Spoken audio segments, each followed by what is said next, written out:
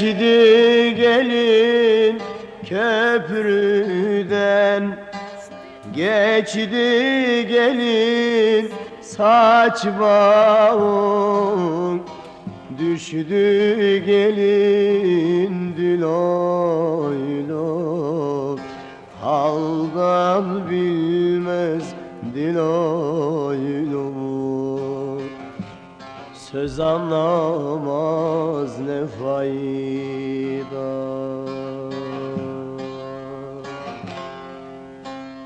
Eğil bir yol öpeyim Eğil bir yol öpeyim Gençliğim geçti gelin diloy loy Haldan bilmez diloy loy Söz anlamaz ne fayda. Diloy diloy diloy diloy loy Haldan bilmez diloy loy Söz anlamaz ne fayda Evet, Niğde'nin Ulukışla ilçesine bağlı Aktoprak kasabası. Eski adı Kılan köyündeyiz. Ee, köyde yoğun biçimde meyvecilik e, ve diğer hayvancılık. Hayvancılık, Küçük. küçükbaş hayvancılık, Hı hı. büyükbaş hayvancılık, e, kiraz üreticiliği, Kiraz yoğun biçimde e, %80'e yayla turizmi. kova, Toros dağların, Bolkarların eteğinde olan bir köy. Köyün bugünlerde belki de e, en önemli gündem konularından birisi son dönemde özellikle altın madenciliği oldu. Çünkü köye çok yakın bir yerde e, hemen dağın eteklerinde altın madeni işletilmek isteniyor.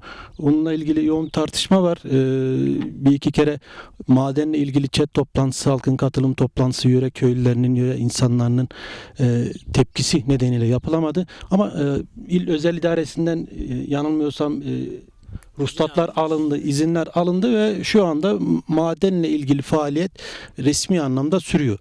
Ben e, Ali Ünü var. Kamu görevi, uzun yıllar kamu görevi yaptıktan, emekli olduktan sonra kendi kasabama geldim. Ülkemizde üretim toplumu değil de tüketim toplumu yaratmaya çalışan bir düzen karşısında ben üretimi seçerek üretimin içinde bulunmak istedim.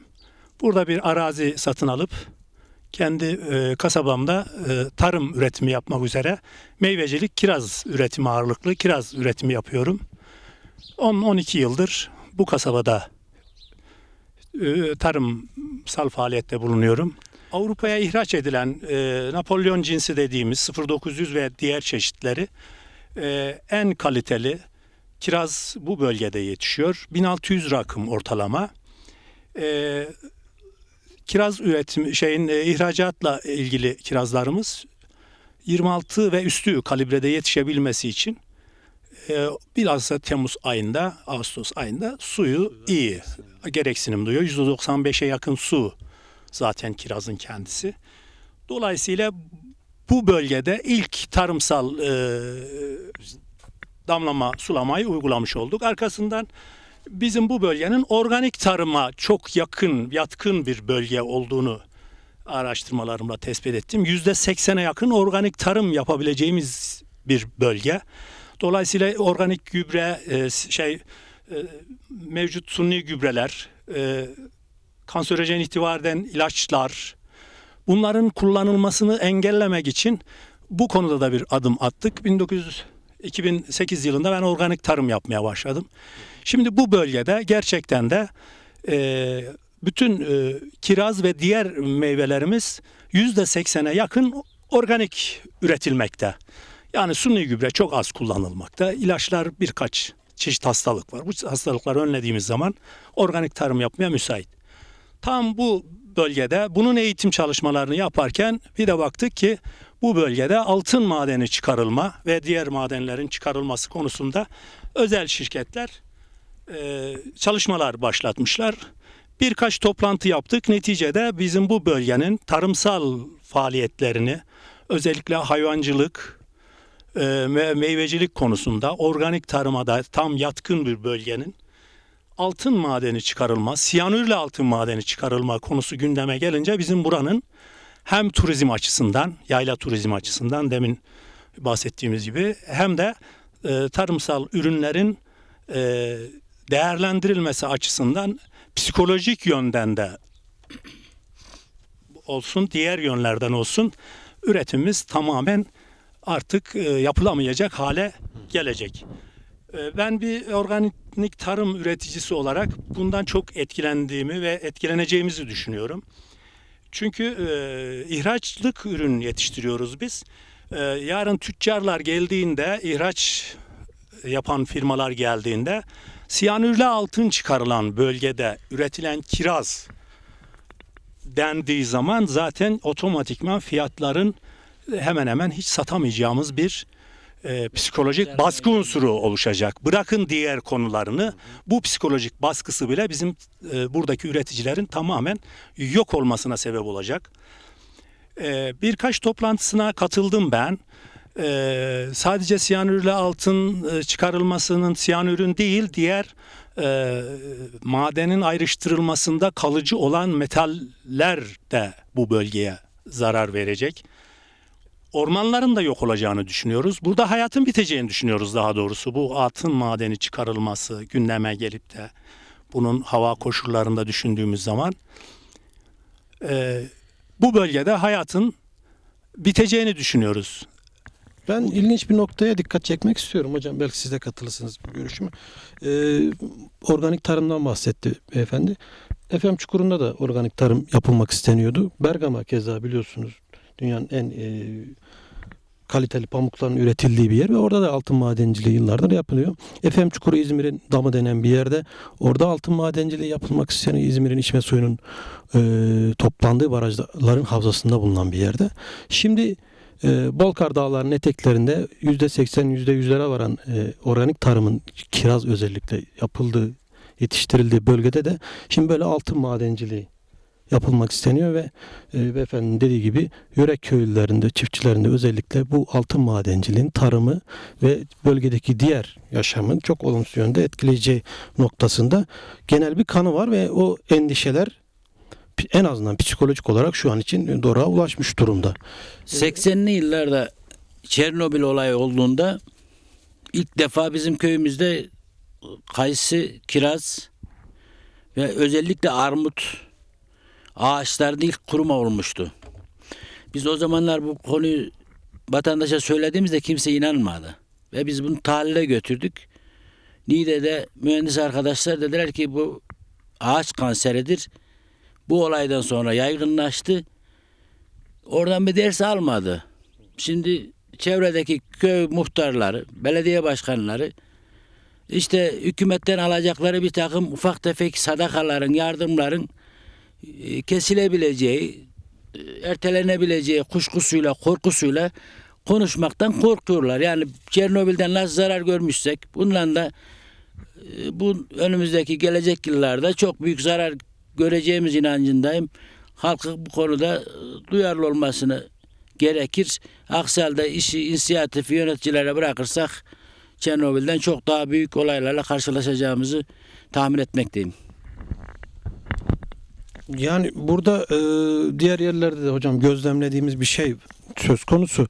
E, yerel yöneticiler özellikle muhtarlık bazında olsun, belediye başkanları bazında olsun ki hepsini gezmedik gerçi hepsiyle konuşmadık ama e, hükümetle merkezi idareyle bu konuda özellikle ters düşmek istemiyorlar. Diğer yerlerde de öyle. Özellikle muhtarlar, köy muhtarları, madenci şirket tarafından ya da e, merkezi yönetim, hükümet görevlileri tarafından bir şekilde ikna ediliyor. Tırnak içinde o ikna, ikna nasıl olduğunu siz de tahmin edebilirsiniz.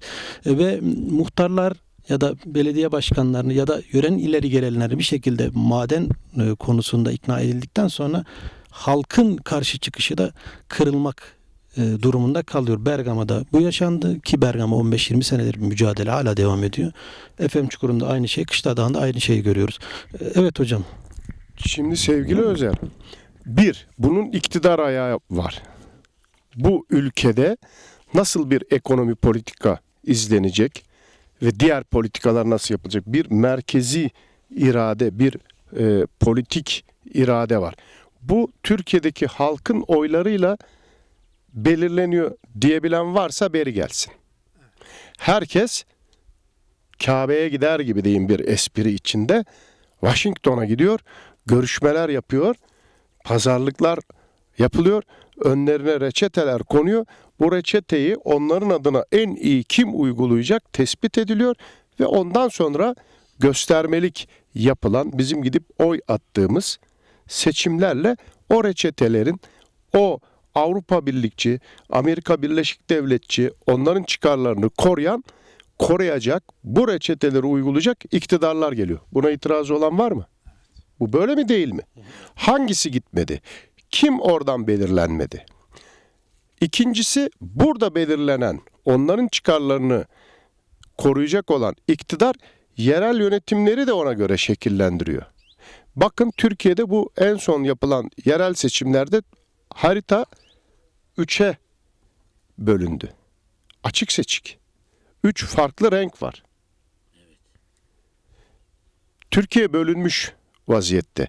Birleşebilmek, barış içinde bir arada yaşayabilmenin çabaları da bugünkü altına karşı yapılan mücadeleden, bu ekonomi politikalara, bu genel siyasete karşı yapılan mücadeleden farklı bir şey değil.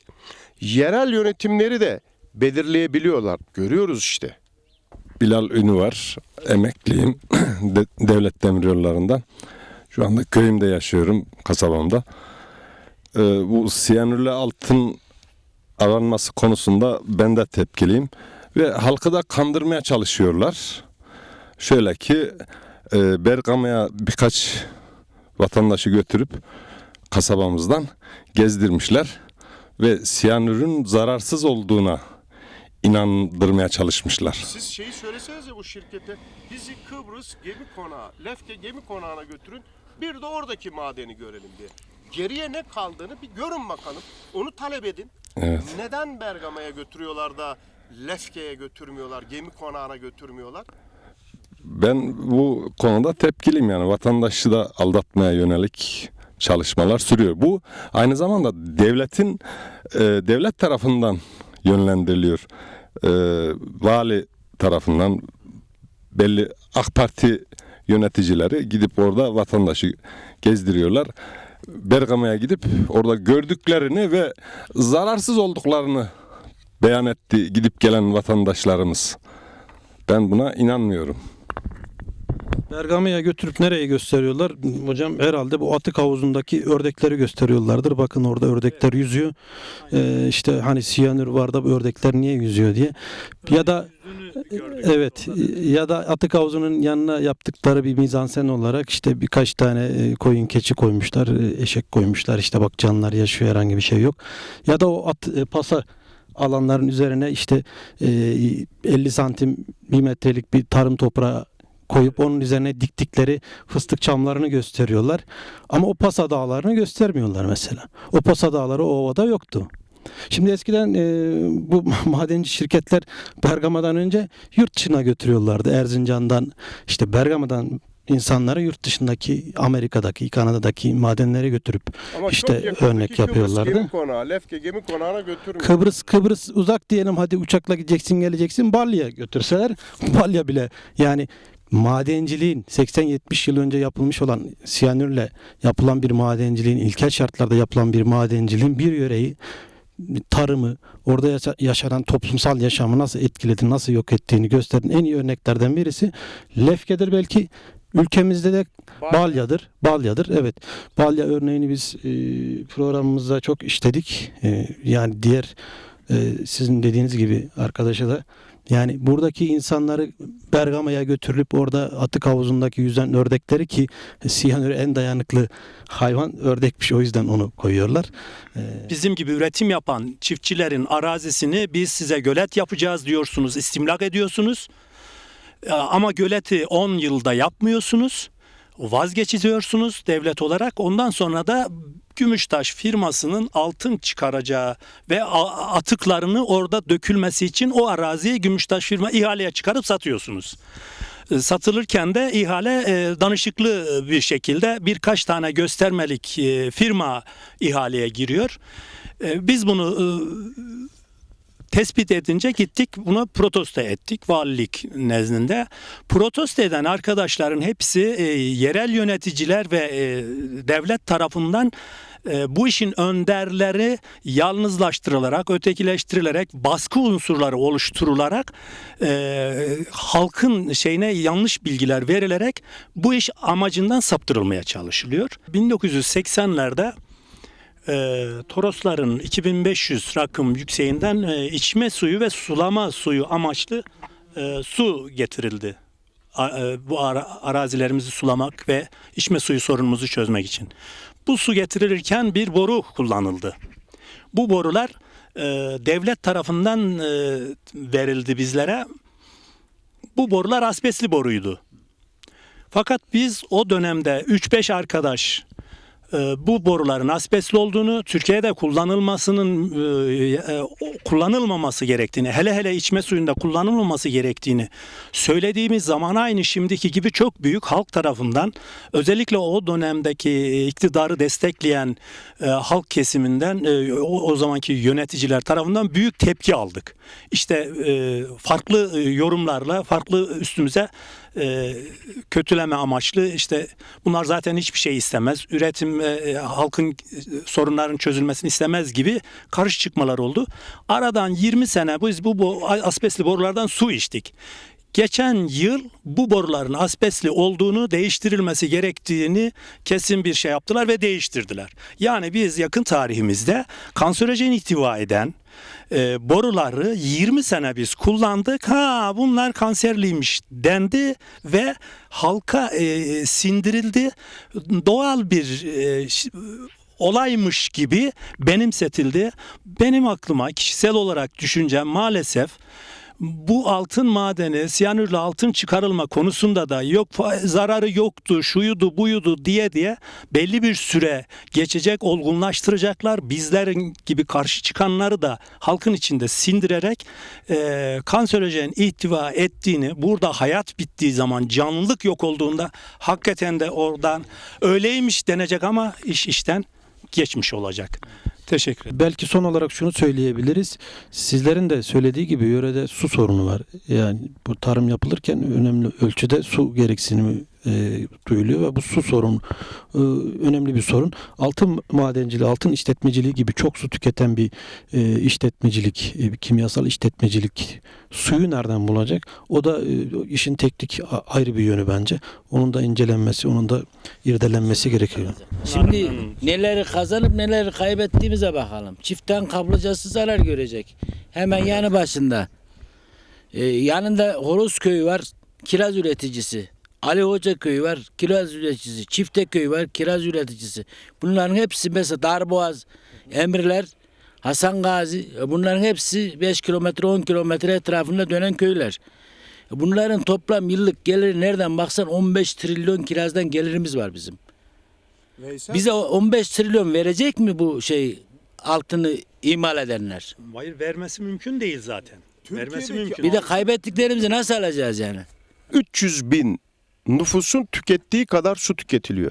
Yani değişik kapasitelerde, değişik boyutlarda altın madenciliği yapılan yerler var. Bakıyorsunuz 280 bin nüfusun tükettiği su kadarla 1 milyon 300 bin kişinin tükettiği su kadar su tüketiliyor bu altın madenlerinde. Özer'in dediği gibi son derece fazla su tüketilen yerler. Şimdi bu bölgede de varsayalım 300-500 bin kişinin tükettiği su kadar su tüketecek. Evet. Ortalamasını alalım. Zaten su Yani burada zaten suyun kıt olduğu söyleniyor.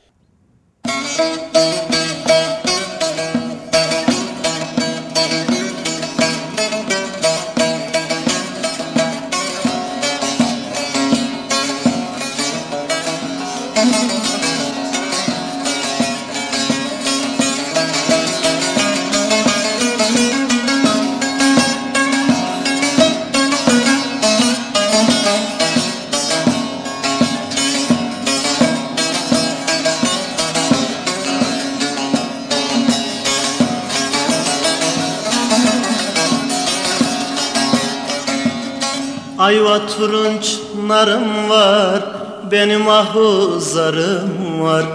Ayva turunç narım var Benim ahuzarım var.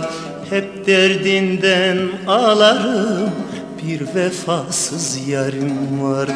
Al almayı ver narı Ver narı Ver narı. Ağlarım zari zari Tez günlerde gönderin Vah gözlü yarim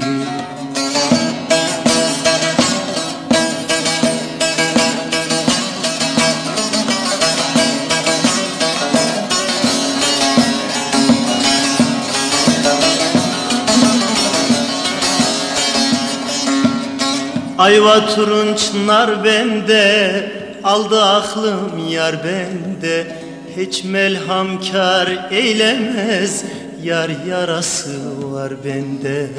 Al almayı ver narı Ağlarım sarı sarı. Tez günlerde gönderin Vah gözlü yarim Kılan Belediye Başkanı Ali Akpınar Bey ile birlikteyiz. Ee, sevgili başkan, e, köyünüzde gezdik, çekimlerimizi yaptık. Sizin köye çok yakın, burada işletilmek istenen altın madenciliği. Sizin bu konuda görüşleriniz neler? Valla ben şimdi bu konuda teknik bir bilgiye sahip değilim. Şimdi duyduğumuza göre siyanürün sağlığa zararlı olduğu, ileride kanserojen madde ürettiği, vatandaş bundan işte ıı, rahatsızlık duyulacağı 20-25 sene sonra bunun belli olacağı diye bir söylenti var. Tabii ben bu konuda bilgi sahibi değilim ama benim bildiğim devlet vatandaşının zararına olan bir şeye müsaade etmez. Ben öyle inanıyorum, öyle düşünüyorum yani. Şimdi bunun böyle olacağını inanmıyorum ben yani. Eğer zararlıysa devlet müsaade etmemesi lazım. Eğer devlet müsaade ediyorsa bunun zararlı olmaması lazım. Ben öyle düşünüyorum. Başka bir bilgi sahibi değilim bu konuda. Peki uzmanlar bu kirazlara, bu madenin etkisi konusunda sizlere herhangi bir e, bilgiler ve- verildi mi? Ha, bize o konuda hiçbir bilgi verilmedi. Kiraz e, kiraz bizim için çok önemli. Kiraz biz biz ona siyah altın diyoruz. Yani e, bizim ürettiğimiz kirazın bir kilosu Türkiye'de satılmıyor. Burada buraya tırlar geliyor. Ona şok, şoklama tesisleri Haydar diyorlar bir araç var. Onun içerisine şoklanıyor. Buradan olduğu gibi tırlara yükleniyor. Tamamı yurt dışına gidiyor. E, bizim ürettiğimiz kirazın bir kilosu Türkiye'de satılmıyor. Biz döviz döviz diye çırpınmıyor muyuz? Yani döviz alsana döviz sonra bunda kota yok çıta yok yani şimdi mesela tekstilin ihracatında kota var değil mi? Ama bizimkinde hiçbir kota yok ne kadar üretirsek o kadar satıyoruz. Yani bunun devlet de bunun farkında. Bu işte geçen evvelki sene buraya iç- e, sulama suyu göletimiz yapıldı. E, bugüne kadar olan sıkıntılarımızın hepsi bitti. 70 günde 80 günde sulanan bahçelerimiz şu anda 10 günde 12 günde 15 günde canın istediği gibi suluyorsun. İçme suyu sorunumuz halledildi. Yani demek istediğim güzel şeyler oluyor. Bu siyanür konusunda da işte söylediklerim, bu, bildiklerim bu. Başka bir şey bilmiyorum. Vatandaştan da hiçbir yani bizim burada çok fazla gündemde değil bu siyanür. Onu- Peki siz hani e, bu ürettiğiniz siyah altın dediğiniz kiraza zarar verecek mi vermeyecek mi? Bu konuda e, bilim insanlarına, uzmanlara danışmak gereği duymuyor musunuz? Ya şu anda hiç öyle bir şey şey yapmadık yani inceleme yaptırmadık bilmiyoruz yani. Biz de bize biraz da uzak olduğu için yani biz ikinci planda kalıyoruz ama bilmiyorum yani bir şey söylersem yalan söylerim yanlış söylerim açık söyleyeyim.